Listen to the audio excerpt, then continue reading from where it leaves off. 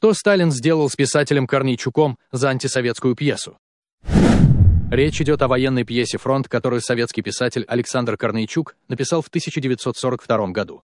В сюжете идет речь о причинах поражения Красной Армии в кампаниях 41-42 годов. Кроме того, в произведении всячески высмеивались военачальники старой закалки, имеющие опыт гражданской войны.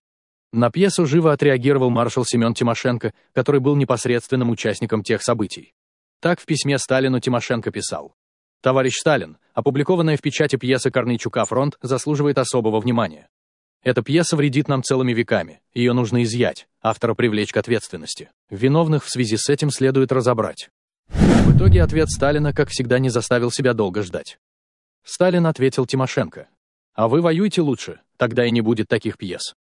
Кроме того, за пьесу «Фронт» Александр Корнейчук в 1943 году был удостоен сталинской премии.